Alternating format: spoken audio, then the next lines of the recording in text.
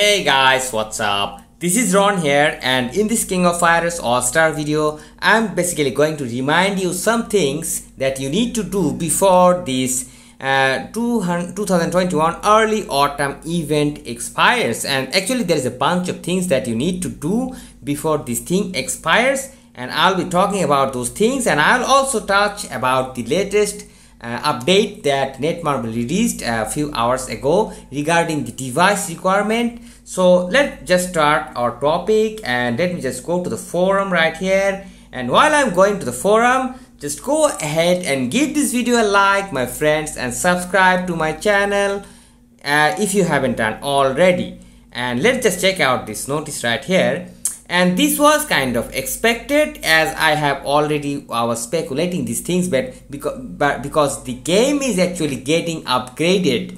the game is actually become more high end so finally Netmarble had to issue this notice that there is a certain minimum system requirement for the devices that is going to be applied uh, uh, upon late October update and the system requirement of this device will be uh, if it is an android device then the minimum requirement will be android uh, version 5 that is lollipop uh, but the requirement will be uh, android uh, 5.1.1 or higher.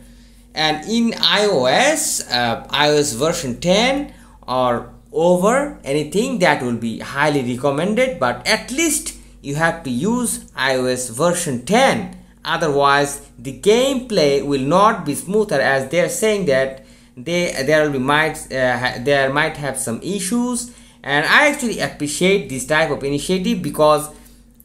i just throw a like or love whatever you say because the fact is simple fact is the game is giving getting more high end. Every day we are having more new new characters with extraordinary 3pgs and everything new game modes. So of course the requirements will be higher and you cannot expect to play the same game that you downloaded two years ago with maybe your 3GB device, 3GB RAM device or 2GB RAM device. You should not expect the same performance my friends.